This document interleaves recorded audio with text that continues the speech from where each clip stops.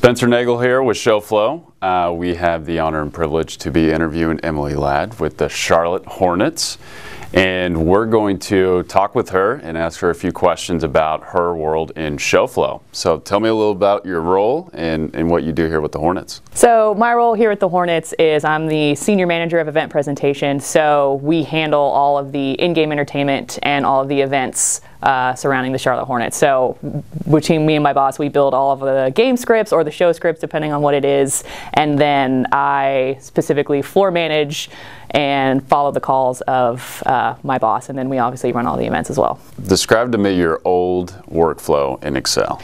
So um, I'd build the initial scripts, and then I would, and I build it in Excel, and then I would print it out, and I'd give it to my boss. He would make edits, and he would give it back, and I would go through, and I would make those edits, and so we would have that process process probably about five or six times leading up to the game, and then we'd do one final edit, final edit, um, right before the game, probably around like noon, and then we would print off for everybody, and then we'd have our meeting later. So that's how we kind of would build our scripts typically in the past. So that makes sense. Talk to me a little bit about what you guys were looking for, or what your superiors were looking for in a software. Besides the time aspect, which I think is probably a universal thing, the main thing that we were looking for with kind of a software was what's going to make us more efficient that's also not too different than how we normally do things because we didn't really want to start from scratch. We have a good show, we have a good process. We did not want to tear that down and rebuild it. So one good thing about Shoflo is that it's we can still keep a relatively same workflow. It's just a lot a lot of the smaller steps have been kind of taken out of it where we can kind of work on things simultaneously and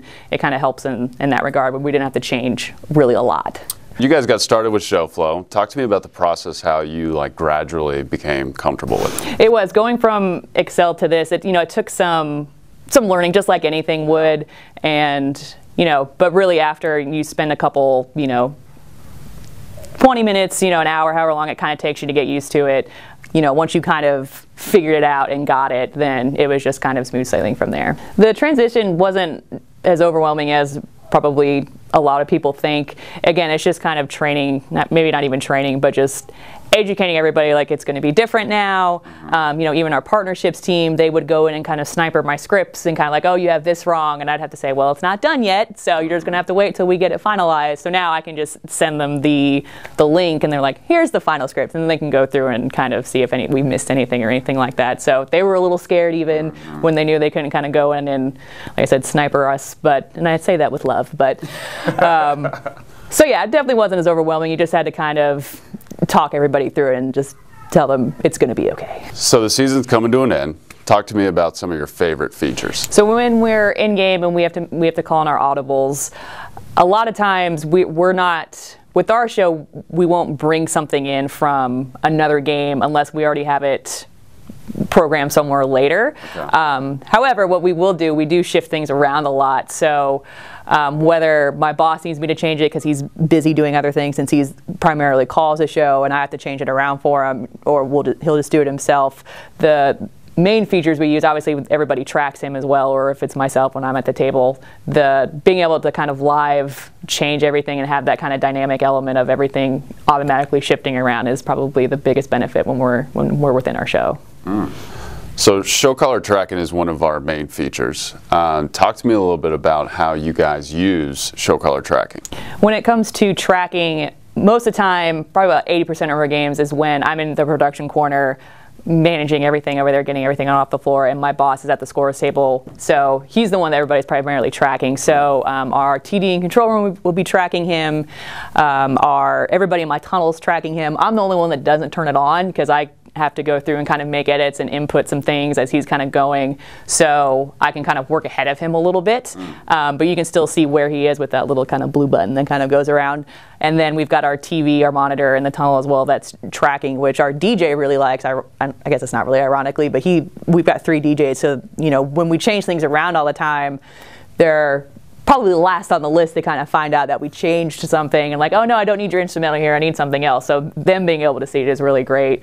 Um, but just knowing wherever he is in the script is just, you know, helpful all the way around. That's awesome. So it sounds like ShowCaller tracking has really been helpful for you guys. So my, I've worked with uh, my boss now for, I think this is our sixth or seventh season together. So we've been able, we've, I, can read him pretty well. Mm-hmm. So I know when he's going to either call a hot timeout or audible something in. But at the same time, if we just need to input like okay this name needs to be put in or whatever i don't even have to tell him when i'm making changes. I can just say hey this season ticket holder name's in there now. And at the same time everybody else can hear it. And then they know to go in and look like and then we don't have the spelling problems unless i put it in incorrectly then it's my fault. Um, and we can even put like you know the, the, phonetic pronunciations and that type of stuff when we have to change when we don't know when i'm building the scripts or and stuff like that. So having that even the dynamic editing capabilities within certain you know cells or whatever is great so a lot of teams are moving from a budget of zero in Excel. So how did you jump over the hurdles and navigate that process of actually purchasing a software? Obviously, when you have a doing anything for free and you have to consider paying for it from now on, you know, you have to get a handful of people involved. However, you know, given that this was a kind of a top-down initiative from uh, from our VP, you know, he was aware that we were going to have to put some bu- some budget dollars towards it. And so once, and they gave us the lead to kind of figure out which one we wanted to go with mm-hmm. and to kind of figure that out because we were the ones that are gonna, were going to be using yeah. it, which was great. So we just had to. They knew it was going to cost some money, um, and we just we had to be like, this is how much it is. So we're yep. very fortunate in that regard that they were, you know, aware it wasn't going to come, you know, for you know a hundred bucks or whatever. So. So when you guys made the switch, was anybody hesitant? When we made the switch, I was actually one of those people. I wanted to obviously I you know I love my job, and so I don't mind spending the time to make our show as perfect as possible. Um, but you know, this is my 10th season here, and I've been doing Excel from the minute I started. So I was one of those hesitant people mm. to actually start off with. You know, I liked having that hard copy in my pocket where I could write things down and I could run around and you know not worry about breaking a hundred dollar you know piece of equipment um, but once we kind of got into it you know i kind of realized the value of it and it took a minute it didn't take a lot of convincing, but we had to convince our crew as well because they we've been fortunate enough to have the relatively the same crew ever since I've been here as well. So they've been ingrained in that kind of this is what our script looks like and this is how our show is. So it took some convincing for them too, but I think they would agree that they're they're all on board now. That's great. So if you had to give me a percentage of time saved, what would you say? I would say it's at least been probably about half.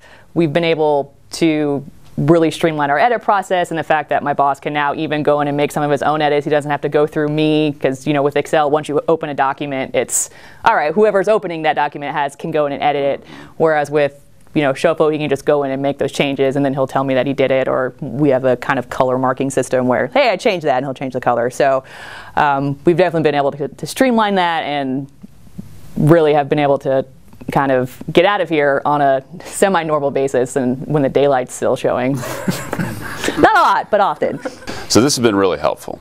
Um, I think for us um, in Shoflo and what we do, our team, uh, we want to make your job easier. Uh, I think that's important for us to do that as we're continuing to work with teams. And it sounds like we achieved that, which is, is really good for us to hear. And we want to continue to do that for you guys. So I appreciate your time and we look forward to continuing to work with you guys.